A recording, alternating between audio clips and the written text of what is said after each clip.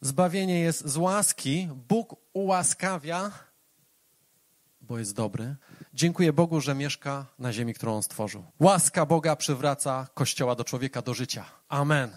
Skoro Bóg nam wybacza i daje każdemu kolejną szansę, kolejną szansę i wszystko wymazuje, to my też dajemy innym drugą i kolejną szansę.